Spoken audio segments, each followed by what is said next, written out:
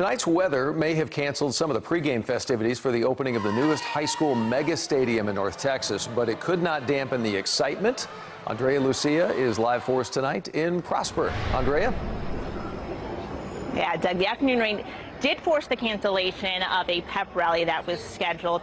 The district also had to nix plans for, get this, uh, skydivers to come down with a flag. But that was just a small portion of what was planned. It does give you an idea, though, of how excited the district is for the opening of its new Children's Health Stadium.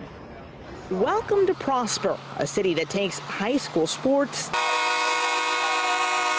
seriously.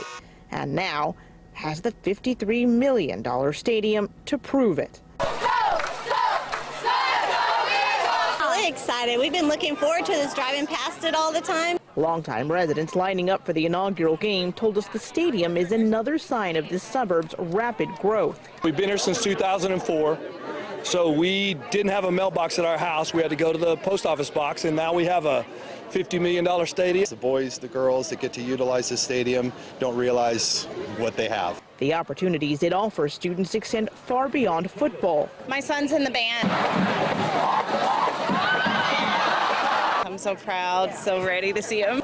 You know, our football team is not the biggest group out here tonight. Our band is three times that size. So we're excited about the cheer, the talonets, our Yale groups. Um, we've got broadcast journalism students running our video board. For parents, it's a chance to see their children shine in a slightly bigger spotlight. Regardless of the venue that your kid's playing in, you're just proud that your kid's, you know, participating, your kid's giving the effort and um, following a passion that they may have.